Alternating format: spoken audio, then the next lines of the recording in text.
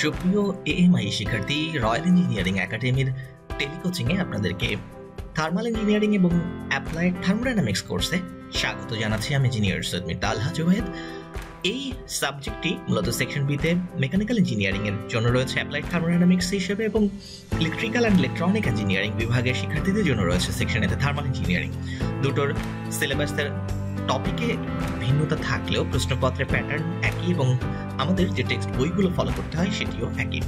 তো আমাদের আলোচনায় আমরা সবসময় দুটো সাবজেক্টের প্রশ্নপত্র কাভার করব এবং যেহেতু আলোচনা এবং পড়াশোনা বিষয়বস্তু সেম তাই ইলেকট্রিক্যাল অ্যান্ড ইলেকট্রনিক ইঞ্জিনিয়ারিং বিভাগের শিক্ষার্থীদের জন্য আমরা এটি অনুসরণ করতে বলব। একইভাবে আমাদের মেকানিক্যালের জন্য এটা আমরা অনুসরণ করতে বলব। আমরা আজকে কথা বলব থার্মোডাইনামিক্স অ্যাপ্রোচ টেক্সট বইয়ের একদম শুরু থেকে এবং আমরা পর্যায়ক্রমিকভাবে কিছু বেসিক কনসেপ্টগুলো নিয়ে কথা বলব যাতে আমাদের পরবর্তী অধ্যায়গুলোর বা যেগুলো আমাদের পরীক্ষার জন্য গুরুত্বপূর্ণ, সেই অধ্যায়গুলো বুঝতে আমাদের সুবিধা হয়। যে কারণে এই ইন্ট্রোডাক্টরি লেকচারগুলো থেকে এক্সামের জন্য গুরুত্বপূর্ণ না হলেও এক্সামের জন্য যে সকল অঙ্কগুলো গুরুত্বপূর্ণ, সেগুলো আন্ডারস্ট্যান্ডিং এর জন্য এই বেসিক লেকচারগুলো আমাদেরকে আলোচনার আনতে হচ্ছে। তো আমরা কথা না বাড়িয়ে চলে যাচ্ছি লেকচারের মূল অংশে। থার্মোডাইনামিক্স অ্যান্ড ইঞ্জিনিয়ারিং অ্যাপ্রোচ এটার প্রথম যে অধ্যায়, সেখানে ইন্ট্রোডাক্টরি কনসেপ্টগুলো নিয়ে কথা বলা আছে এবং এরপরে আমরা থার্মোডাইনামিক্সের যে মৌলিক কনসেপ্টের পরে আছে এনার্জি সংক্রান্ত কিছু বিষয়, সেখানে ফার্স্ট ল অফ থার্মোডাইনামিক্স নিয়ে আলোচনা করা আছে। এরপরে properties of pure substance chapter সেটিতে আমাদের পিওর সাবস্টেন্স সংক্রান্ত এবং তার ফেজ নিয়ে কথা বলা আছে। তো আমরা আজকে একদম শুরু থেকে শুরু করব ইন্ট্রোডাকশন এবং বেসিক কনসেপ্ট থেকে। এখানে কিছু বিষয়, যেমন হচ্ছে থার্মোডাইনামিক্স সংক্রান্ত যেমন থার্মোডাইনামিক্স, আমরা বলি যে এটা বেসিক্যালি যে সায়েন্স অফ এনার্জি অর্থাৎ শক্তির বিজ্ঞান এনার্জি সংক্রান্ত বিজ্ঞান। সো থার্মোডাইনামিক্স সংক্রান্ত বিষয়ে বলা হচ্ছে যে everybody has a feelings what energy is it is difficult to give a precise definition for it এনার্জিকে আমরা বলি যে কোনো পরিবর্তন ঘটানোর সামর্থ্যকে আমরা বলি এনার্জি এবং থার্মোডাইনামিক শব্দটি এসেছে, গ্রিক শব্দ থার্মা এবং ডাইনামিক্স থেকে, যেটা বেসিক্যালি আমরা সবসময় বলি যে হিটকে কীভাবে আমরা পাওয়ারে কনভার্ট করি, সেটিকে আমরা ডেসক্রিপশন করে থাকি থার্মোডাইনামিক্স টার্ম দিয়ে।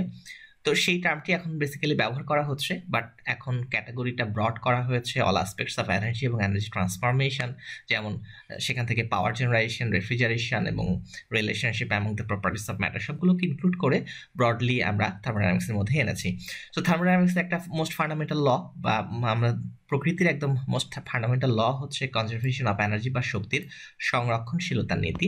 তো এটা থেকে আমরা জানি যে during an interaction energy can change from one form to another অর্থাৎ শক্তি শুধুমাত্র রূপ পরিবর্তন হয় শক্তি যখন ইন্টারাকশন ঘটে শক্তি জাস্ট রূপ বদলায়, অর্থাৎ শক্তি এক রূপ থেকে অন্য রূপে পরিবর্তিত হয় বা টোটাল অ্যামাউন্ট অফ এনার্জি এই ইউনিভার্স বা পৃথিবীতে শক্তির মোট পরিমাণ সবসময় ধ্রুবক থাকে, তার মানে আমরা এনার্জিকে কখনো ক্রিয়েটও করতে পারি না কিংবা ডিস্ট্রয়ও করতে পারি না। এটি হচ্ছে কনজারভেশন অফ এনার্জি প্রিন্সিপাল এখন প্রশ্ন হচ্ছে যে এই বেসিক জিনিসগুলো তো আমরা এর আগেও দেখেছি, এগুলো নিয়ে আমরা কেন কথা বলব? যেমন এখানে আমরা যদি দেখি যে এখানে পটেন্সিয়াল এনার্জি দশ ইউনিট ছিল, যেখানে কাইনেটিক এনার্জি শূন্য, অর্থাৎ এখানে একটা rock falling up a cliff যার হচ্ছে পটেন্সিয়াল এনার্জি ছিল দশ ইউনিট এবং কাইনেটিক এনার্জি শূন্য ছিল। যখন সেটা পড়ল তখন তার পটেন্সিয়াল এনার্জিটা কমে গেল এবং কিছুটা গতিশক্তি সঞ্চারিত হলো এবং সেটি যদি হয় তিন ইউনিট তাহলে পটেন্সিয়াল এনার্জি তিন ইউনিট কমে গিয়ে সেটি হবে সাত, অর্থাৎ মোট শক্তি যেটা।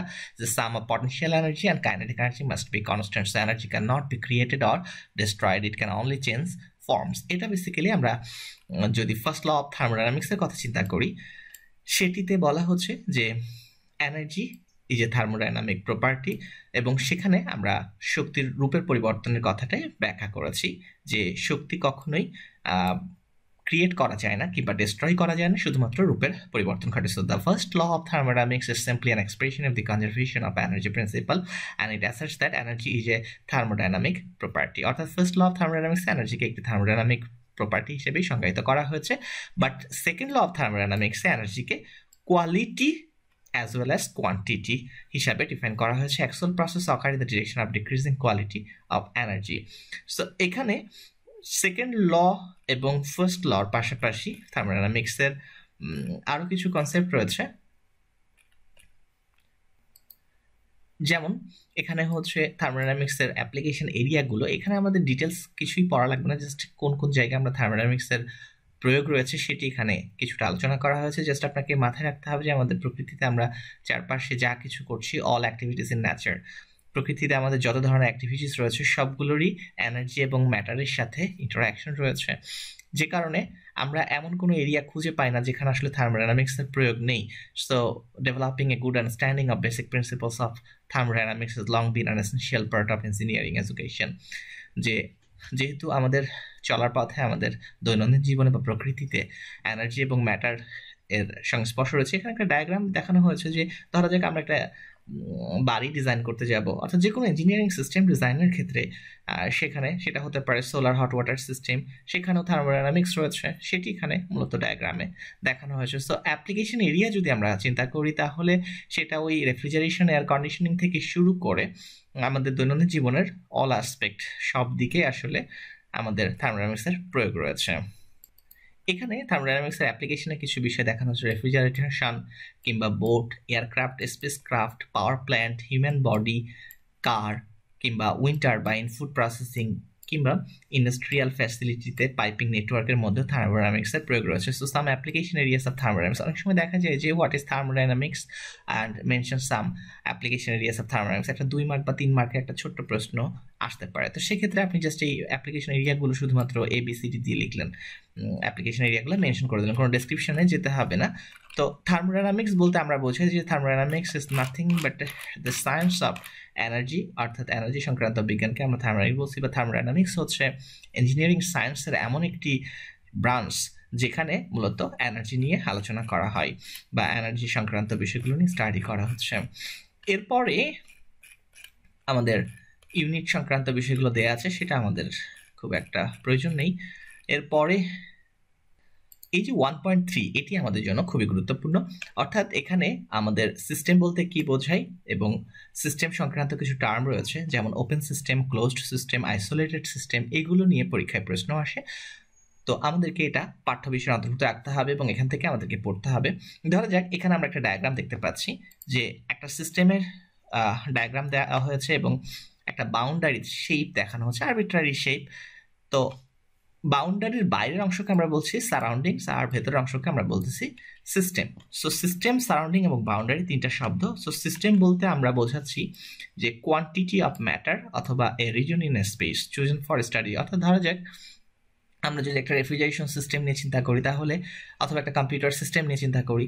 সো এনক্লোজড স্পেস যে স্পেসটুকু আমি আমার স্টাডির জন্য বাছাই করেছি, সেই রিজন ইন স্পেস সেটিকে আমরা বলছি একটা সিস্টেম অথবা একটা কোয়ান্টিটি অফ ম্যাটার কোনো একটা বস্তু নিলাম, কোনো একটা অবজেক্ট নিলাম, কোনো একটা পদার্থ নিলাম, সেটার নির্দিষ্ট একটা পরিমাণকে আমরা বলছি সিস্টেম অর্থাৎ যার একটা বাউন্ডারি থাকবে এবং বাউন্ডারির বাইরের অংশটাকে আমরা বলছি সারাউন্ডিংস অর্থাৎ ধরা যাক একটা রেফ্রিজারেশন সিস্টেম যদি আপনি চিন্তা করেন, তাহলে রেফ্রিজারেশন সিস্টেমের একটা বাউন্ডারি রয়েছে।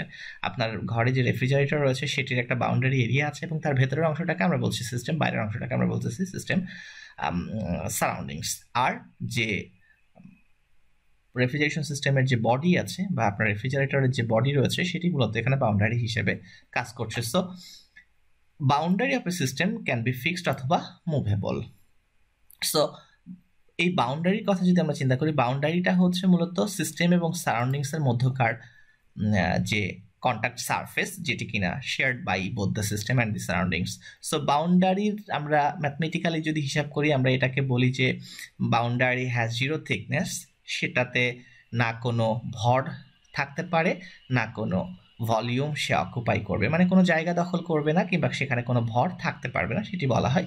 তো মূল ব্যাপারটা হলো সিস্টেম বলতে কি বোঝায়? এখান থেকে একটু মুখস্থ করতে হবে যে system is defined as a quantity of matter or a region in space region for study so the mass or region outside the system সিস্টেমের বাইরে যে মাস বা রিজন রয়েছে সেটিকে আমরা বলি সারাউন্ডিংস এবং রিয়েল বা ইমাজিনারি সারফেস যেটা সিস্টেমকে সারাউন্ডিং থেকে আমাদের এই যে বাউন্ডারিটা আমরা দেখছি যে এটা রিয়েল বাউন্ডারি হতে পারে ইমাজিনারি বাউন্ডারি হতে পারে বা এমন একটা সারফেস যেটি কিনা সারাউন্ডিংস থেকে সিস্টেমটাকে ডিফ সেপারেট করে, সেটিকে আমরা বলছি বাউন্ডারি সো বাউন্ডারি হতে পারে ফিক্সড বা মুভেবল সিস্টেমকে আমরা ওপেন সিস্টেম বা ক্লোজ সিস্টেম হিসেবে ডিফাইন করে থাকি। যদি একটা সিস্টেম ক্লোজ সিস্টেম হয় দ্যাট মিনস সেটা আবদ্ধ, যেমন রেফ্রিজারেশন সিস্টেম বা রেফ্রিজারেশন সিস্টেম বা air cooling system so close system হচ্ছে কন্ট্রোল মাস সিস্টেম অর্থাৎ যেখানে মাস বা ভেতরে যে অ্যামাউন্ট অফ মাস থাকে সেটা ফিক্স থাকে এবং ওই ভেতরে যে পদার্থগুলো থাকে সেগুলো না বাইরে বের হতে পারবে বাউন্ডারি দিয়ে বাইরে ক্রস করতে পারবে বা বাইরে থেকে কোনো মাস বা ভর বা কোনো বস্তু ভেতরে প্রবেশ করতে পারবে। অর্থাৎ একটা ক্লোজড সিস্টেমকে আমরা বলি কন্ট্রোল মাস সিস্টেম যেখানে মাস হচ্ছে ফিক্সড অ্যামাউন্ট এবং no mass can cross its boundary no mass can enter or leave a closed system but energy যেটা হচ্ছে, আমরা জানি শক্তি, সেটা তাপ আকারে কিংবা কাজ আকারে সেটি বাউন্ডারি ক্রস করতে পারে এবং volume of a closed system doesn't have to be fixed so if as a special case even energy is not allowed to cross the boundary তখন সেই সিস্টেমটাকে আমরা বলি আইসোলেটেড সিস্টেম তাহলে এখানে আমরা বলছি যে ওপেন সিস্টেম ক্লোজ সিস্টেম এবং আইসোলেটেড সিস্টেম সিস্টেমকে আমরা দুটো ক্যাটাগরিতে বা তিনটা ক্যাটাগরিতে ভাগ করছি। ক্লোজ সিস্টেম হলে এখানে যেটা ঘটবে যে সিস্টেমের ভেতরে যে ভরের পদার্থ রয়েছে, সেই পদার্থগুলো সিস্টেমের বাইরে যেতে পারবে না কিংবা বাইরে থেকে কোনো পদার্থ সিস্টেমের ভেতরে প্রবেশ করতে পারবে না। এবং এখানে যেটা হচ্ছে ভলিউমের প্রশ্ন, সেটি ভলিউমটা হলো ফিক্সড না, ভলিউম কম বেশি হতে পারে। আরেকটা হলো এনার্জি যেটা তাপ কিংবা কাজ আকারে সেটা বাউন্ডারির ক্রস করতে পারে, অর্থাৎ বাইরে থেকে তাপ ভেতরে প্রবেশ করতে পারবে সিস্টেমের বা সিস্টেম থেকে বাইরে তাপ যেতে পারবে। অর্থাৎ এনার্জি সেখানে ক্রসিং করতে পারবে বাউন্ডারিতে এখন যদি আমরা এনার্জিটাকেও এনক্লোজ করে দিই দ্যাট মিনস এনার্জি যদি সিস্টেমের বাউন্ডারি ক্রস না করে দ্যাট মিনস বাইরে থেকে কোনো এনার্জি ভেতরে প্রবেশ করবে না সিস্টেমের কিংবা সিস্টেমের ভেতর থেকে কোনো এনার্জি বাইরে যাবে না, তাহলে সেই সিস্টেমটাকে আমরা বলছি ক্লোজ সিস্টেম না বলে সেটাকে আমরা আইসোলেটেড সিস্টেম বলছি। So isolated system is a basically close system but no energy is allowed to cross the boundary তো ক্লোজ সিস্টেমকে আমরা বলি কন্ট্রোল মাস সিস্টেম যেখানে ভলিউম কন্ট্রোল না, আর ওপেন সিস্টেম যেটা, সেটাকে আমরা বলি কন্ট্রোল ভলিউম সিস্টেম সো এখানে এখানে যেটা দেখানো হয়েছে যে mass cannot cross the boundary of a close system, এটা হচ্ছে একটা ক্লোজ সিস্টেমের ডায়াগ্রাম দেখানো হয়েছে যেখানে আমরা দেখতে পাচ্ছি যে সম্পূর্ণ বাউন্ডারিটা এনক্লোজড এবং যে কারণে এর ভেতরে যে পরিমাণ ভর সেটা হতে পারে, ধরা যাক একটা অক্সিজেন অক্সিজেন সিলিন্ডার, আবদ্ধ অক্সিজেন সিলিন্ডার, সেই সিস্টেমটাকে আমরা বলতেছি ক্লোজ সিস্টেম যেখানে কিনা কোনো অক্সিজেন ভেতর থেকে বাইরে যাচ্ছে না। যতটুকু ভরের অক্সিজেন সিস্টেমের ভেতরে ছিল বা সিলিন্ডারের মধ্যে ছিল, সেটা যদি আবদ্ধ অবস্থায় থাকে পুরোপুরি, তাহলে সেটাকে আমরা বলছি ক্লোজ সিস্টেম অর্থাৎ এম অর্থাৎ বস্তুর ভর এখানে কনস্ট্যান্ট থাকবে।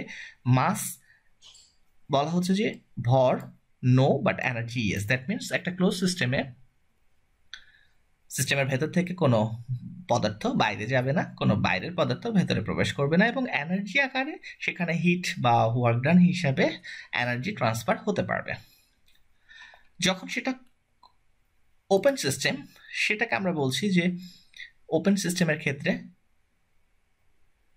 control volume system is a properly selected region in a space. It usually encloses a device that involves mass flow such as a compressor, turbine বা nozzle. So আমরা যদি আমাদের ইঞ্জিনিয়ারিং ডিভাইস হিসেবে চিন্তা করি টারবাইনের কথা কিংবা নজেলের কথা কিংবা কম্প্রেসরের কথা, সেখানে আমরা জানি যে মাস ফ্লো হচ্ছে এবং এই ডিভাইসের মধ্য দিয়ে ভর প্রবাহিত হয়। সো ওপেন সিস্টেমে ভর সিস্টেমের ভেতর থেকে বাইরে যেতে পারবে কিংবা বাইরে থেকে সিস্টেমের ভেতরে ভর ভর বা পদার্থ বেসিক্যালি প্রবেশ করতে পারবে। সো নজেলের মধ্য দিয়ে যেটা ঘটে যে আমরা জানি যে নজেলে অনেক, যদি আমরা কনভার্সিং নজেলের কথা চিন্তা করি যে অনেক চওড়া বা প্রশস্ত রাস্তা দিয়ে ফ্লুইড প্রবেশ করছে, কিন্তু নজেলের ছিদ্র দিয়ে, যদি কনভার্সিং নজেল হয়, খুব ছোট্ট ছিদ্র দিয়ে, খুব দ্রুত গতিতে ফ্লুইড নির্গত হচ্ছে। তার মানে এই নজেল সিস্টেমটাকে আমরা যদি বলি, তাহলে নজেলে মাস ফ্লো হচ্ছে এবং স্পিড এনহ্যান্সমেন্টের কাজ করছে বেসিক্যালি আবার যদি আমরা ডাইভার্সিং নজেলের কথা বলি, সেখানে আবার বিপরীত ঘটনা ঘটছে যে খুব দ্রুত গতির ফ্লুইড আসছে এবং সেটি স্পিড রিডিউস করে এক্সিট হচ্ছে। তো এখানে সিস্টেমের মধ্যে মাস ফ্লো হচ্ছে। দ্যাট মিনস আমরা যদি ওপেন সিস্টেমের সাথে ক্লোজ সিস্টেমের তুলনামূলক আলোচনা করি, তাহলে একটা ওপেন সিস্টেম হচ্ছে যেটা ঘটতে পারে যে ওপেন সিস্টেমের মধ্য দিয়ে মাস ফ্লো হবে অর্থাৎ সিস্টেমের ভেতরে মাস প্রবেশ করবে, বাইরে থেকে অথবা ভেতর থেকে মাস বাইরে এক্সিট করবে।